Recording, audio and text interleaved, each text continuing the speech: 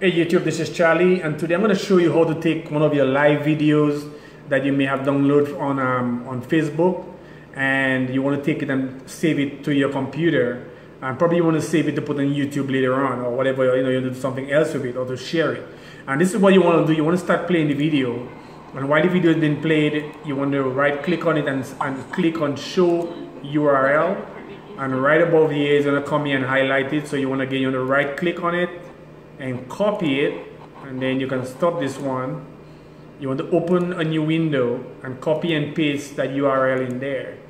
When you do that you want to go and take out the three W's at the front at the front of it. Right up at the top here you want to go ahead and remove the W and replace it with an M. M is for mobile. And then you can click enter and the video is going to reopen as a mobile file. So it's going to open as a mobile file and then you want to click play. And while it's playing you want to right click again and save the video as. And it's going to save you can see right down here it's going to save as an mp4 and you want to give it a name. And here I can put uh, police save baby from hot car.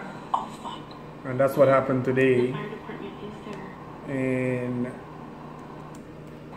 and you click on save and it's gonna be it's gonna save as an mp4 file on your on your computer. And then if you go if you look on your computer you will find it.